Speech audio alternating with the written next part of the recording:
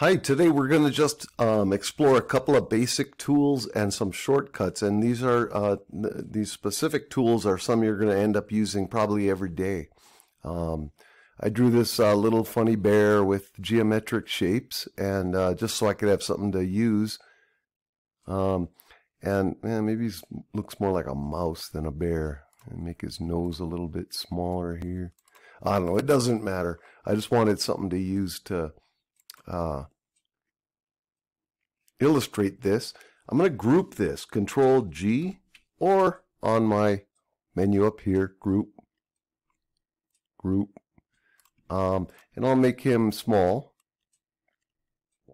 Now we're going to learn Align and Distribute, which you probably see up here on your menu under Arrange. And if you can't see this, if it's blurry, you might want to go down to your settings in YouTube and um, change it to a high definition picture.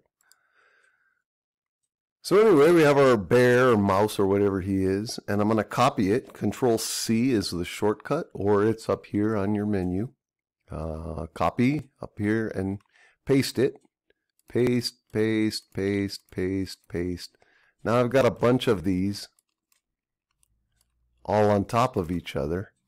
And um, what we want to do is put them all into a straight line. So I'm going to marquee select these. We'll go up here to align and distribute, arrange, align and distribute. And you can see that there are shortcuts for all the aligns. And then down here is the distribute menu. Distribute. Now see how some of that stuff works. First, let's get all the bears out. Forgot how many I had. That's all there are. And we want to put all these bears on a straight horizontal line. And uh, I can do that just with the E key, like that. And the way I knew it was the E key was because, once again, arrange, align, and distribute oops, I have to have it selected. Uh, arrange, align and distribute. Align left is L, right R, top T, and you can imagine what each one of these does. Aligns it either on the left edge, right edge, top, whatever. Align centers horizontally is the one I used. That's the E key. And align centers vertically is the C key. You're going to find yourself using C and E all the time. So if you have a line of objects like this, you click E. They align horizontally. If you click, if you got them this way, and you click the C key after you select them, select C, that lines them all up vertically.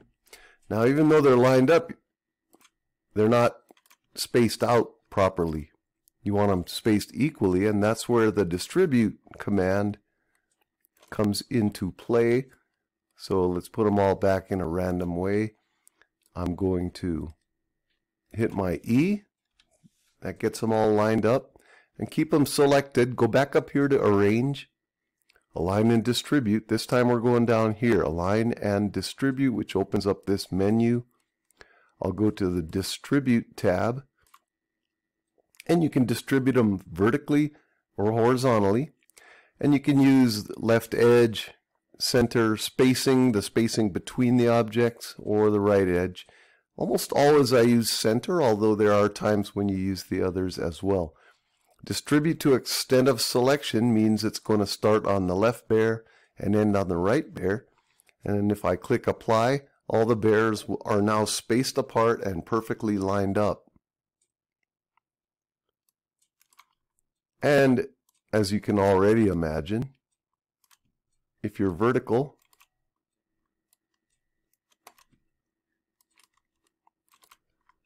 and you marquee select your bears, hit your C, that lines them all up, and then distribute, we're already on this menu, center, or uh, but this is horizontal.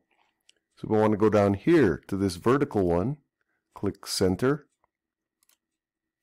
And we'll apply that, and that distributes the bears from top to bottom.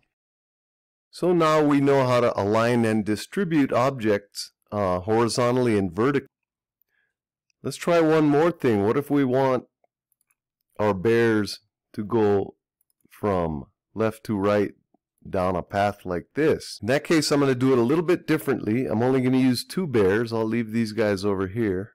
So I'm going to use these two bears. In fact, let's move these out so we don't get confused here. But I kind of like them, so I'll leave them over on the side. All right, so we're going to use two bears here, one here, and we want our bears to go on uh, diagonally from here to here. I'll once again marquee select it, and this time we'll use a different tool. This is the blend, and the blend can be used for dozens or even hundreds of different things, but uh, the basic blend is just uh, to put objects, um, well, you'll see what it does. Effects right up here, um, blend. That opens up our blend menu. And we have our number of steps. Now I got four bears in here, so I'm going to make this four. We'll see how this tool works. If I just go apply, there's my bears on a diagonal line the way I wanted them. And the reason I didn't use these bears here is because the blend will draw the bears or whatever you're using on the path uh, as many bears as you want. Remember I said four, but I could have said five and it would have put an extra bear in there. So as many bears as you want. And the cool thing about the blend is now that it's a blend, it's it's uh it's a single. It's not a single object, but it's a blend path. So if you actually think maybe it should have been over here, the blend will follow either of these beginning or ending objects wherever you put it. So you can always uh, make adjustments to it depending on what you're doing. Um, now, once it's a blend, this is sort of a what they call a blend group. And if you want to take one of these out or move it or whatever, you want to go up here to arrange, uh, break blend group apart. And then your top and bottom one will be independent of each other. These are going to be grouped. So if I go to ungroup, at that point we are back to individual objects and can start over or do whatever we want. So there are a few tools you're going to use quite often. Remember the C and the E for aligning vertically and horizontally, the distribute, and the blend. Practice with these and you'll find yourself using these techniques every day to make your drawing easier, faster, and more fun. I hope your next project goes well.